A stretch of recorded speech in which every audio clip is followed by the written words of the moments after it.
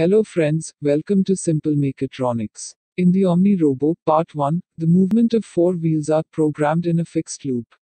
Now, the free pins of the Arduino Mega are used for other controls.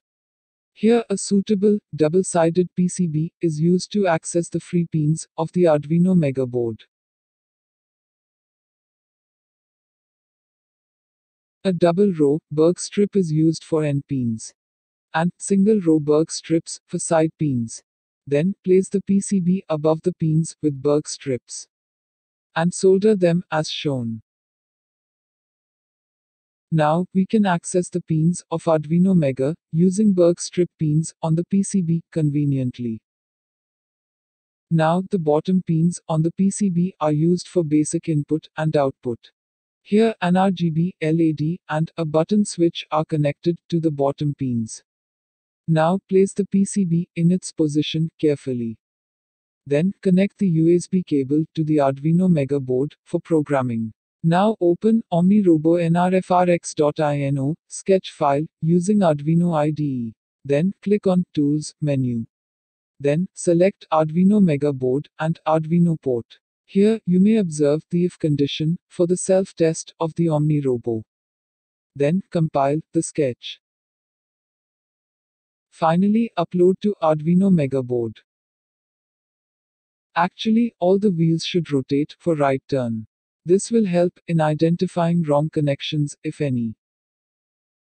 Stop power supply and make the connections right to have right rotation of the Omni Robo as shown here. Here, by pressing the button, the program enters into the self-test mode.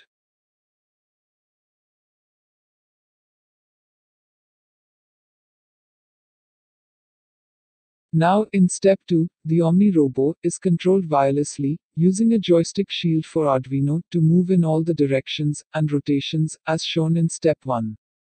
Here Arduino joystick shield is selected for making wireless input module. The joystick shield has 6 digital buttons and 4 directional analog joystick. It also has slot for NRF24L01, useful for wireless communication. Another NRF24L01, as wireless communication module, has to be fitted on the PCB as receiver. Now, an Arduino Uno board is used to make wireless command transmitter module. Now, place the joystick module on the Arduino board carefully as shown. Then connect Arduino board to your computer or laptop using USB cable. You may observe the power indicator LED glows on the Arduino board. Now open OmniRobo nrftx.ini sketch file using Arduino IDE. Then click on Tools menu. Then select Arduino Uno board. Then compile the sketch. Then upload the sketch to the Arduino Uno board used for transmitter module. Here another LED is connected across the pins A2 and ground with about 2.2K as series resistor. When you connect power supply to the Arduino board, the LED starts blinking as status indicator.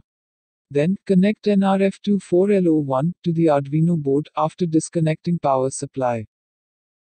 And using slide switch, select 3.3 volts on Arduino board for NRF24L01. Now the transmitter module is ready. Then, use two row 8 pin Berg strip for NRF24L01. Now plan to position it suitably on the PCB. Both the NRF24L01 are paired for wireless communication. The Berg strip pins are soldered on the PCB as per the circuit diagram.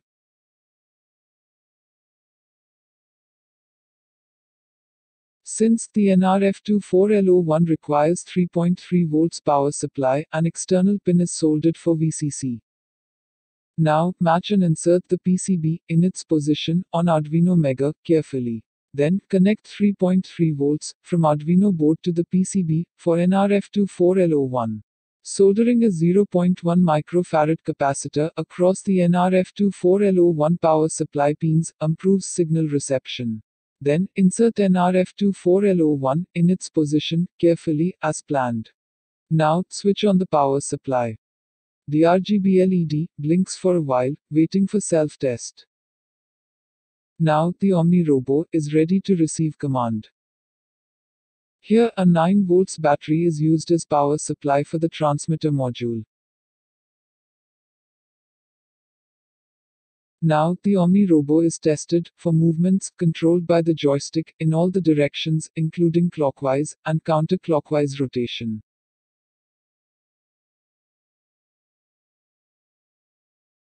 The control may be tested within 2 meters range. The range may be improved by adjusting the source code. More current is required for NRF24L01 for more distance of control. Please press like button if you like this video. Subscribe Simple Mechatronics for access to more projects. And share with your friends about Simple Mechatronics. And don't forget to write your opinion about the project in comments.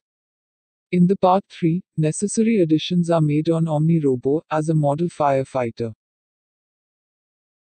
Thanks for watching the video.